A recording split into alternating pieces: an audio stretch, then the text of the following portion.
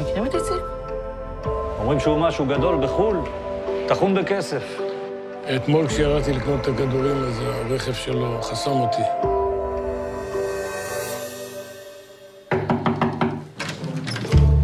הלו. We are the neighbors. שלום, נעים מאוד. איציק. נעים מאוד, גם לי, טובה. היי, היי. אתם רוצים לשתות משהו? כן, תרגיל. כמה זמן אתם ביחד? 46 שנה כבר. וואו. ואתם מונוגמים? מה זה? מאיר לא אוהב לדבר. מה אתה יכול לעשות עם בן אדם שלא מדבר? איך אתה יכול לדעת מה הוא מרגיש? אתה לא רוצה לשיר? זה כל היופי בקריוקי. לא צריך באמת לדעת לשיר, זה לשיר בשביל להוציא.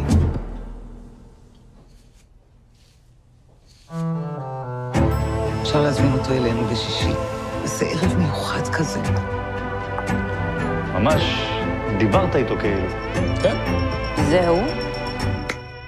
הוא כאילו גיי? גיי? איזה גיי? מה גיי? מה את רוצה ממני? אתה תראה לטובה מי באמת חי פה בסרט. היא לא תבין את זה. מעולה. מסתכל עליו כמו איזה לקקן. איפה הכבוד העצמי שלך? יש הרבה דברים שרציתי לעשות ולא יכולתי. אין, לא יכולתי, יש ויתרתי.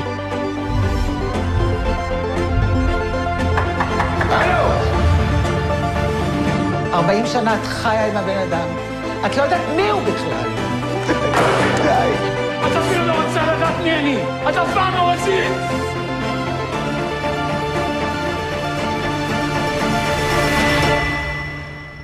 יפה. איזה כיף.